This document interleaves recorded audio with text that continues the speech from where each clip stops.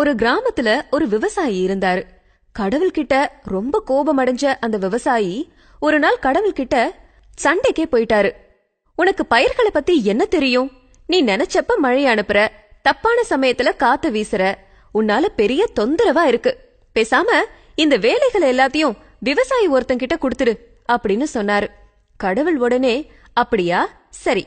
இனிமே வெளிச்சம் மழை காத்து இது எல்லாத்தையும் உன்னோட கட்டுப்பாட்டுல இருக்கட்டும். அப்படின்னு வரம் தந்துட்டு போயிட்டாரு. விவசாயிக்கு ஒரே சந்தோஷம். அடுத்த வருஷம் விதைக்கிறதுக்கான காலமும் வந்துச்சு. மழையே பெய் அப்படின்னு சொன்னாரு. உடனே மழை பெய்தது. நிறுத்து அப்படின்னு சொன்னாரு. உடனே நின்னு போயிடுச்சு. ஈரமான நிலத்தை உழுதாரு. தேவையான வேகத்துல காத்த வீச வச்சு விதைய தூவினாரு.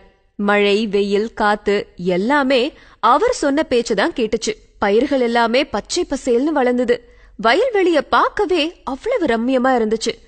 அறுவடை காலமும் முடிஞ்சது. விவசாயி ஒரு கதிர அறுத்தாரு.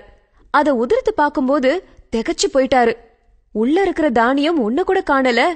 ரொம்ப சின்ன பதர் தான் இருந்தது. அடுத்தடுத்து இருக்கிற ஒவ்வொரு தானிய கதிரா வெட்டி எடுத்து பார்த்தபோது அது எதுலயுமே தானியம் இல்ல. ஏ கடவுளே அப்படின்னு கோபத்தோட கூப்பிட்டாரு. மழை வெயில் காற்று எல்லாத்தையுமே ரொம்ப சரியான விகிதங்கள்ல தானே பயன்படுத்தின. ஆனாலும் பயிர்கள் ஏன் இப்படி பாழா போயிடுச்சு? அப்படின்னு கேட்டாரு. கடவுள் சிரிச்சாரு. ஏன் கட்டுப்பாட்டுல இருந்தப்ப காற்று வேகமா வீசும்?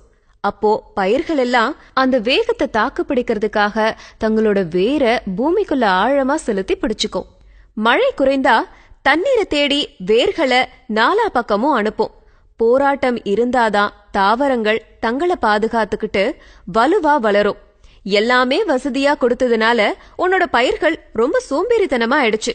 தள தளன்னு வளர்ந்ததே தவிர ஆரோக்கியமான தானியங்களை கொடுக்க அதுக்கு தெரியல அப்படின்னு சொன்னாரு. வேண்டாமையா உன் மழையும் காத்தும் நீயே வச்சுக்க அப்படின்னு கடவுள்கிட்ட எல்லாத்தையும் திருப்பி கொடுத்துட்டாரு விவசாயி. இந்த கதையில இருந்து நாம என்ன தெரிஞ்சுக்கிட்டோம்? பிரச்சனைகள் உங்களை போட்டு அழுத்தும் போதுதான் உங்களோட திறமை அதிகரிக்கும். இருட்டு அப்படிங்கிற ஒரு பிரச்சனை இருந்ததாலதான் மின் விளக்கு கண்டுபிடிக்கப்பட்டது. பயணம் அப்படிங்கறது பிரச்சனையானப்பதான் வாகனம் உருவாக்கப்பட்டுச்சு. பிரச்சனைகளே இல்லாம இருந்துட்டோம்னா நம்ம மூளையோட திறனை எப்படி தெரிஞ்சுப்பீங்க? பிரச்சனை இல்லாத வாழ்க்கை தான் சபிக்கப்பட்ட வாழ்க்கை. எதிர்பாராத திருப்பங்கள் தானே நம்ம வாழ்க்கைய சுவையா அமைச்சு தர முடியும்? அதனால பிரச்சனைகளை பார்த்து பயப்படாதீங்க.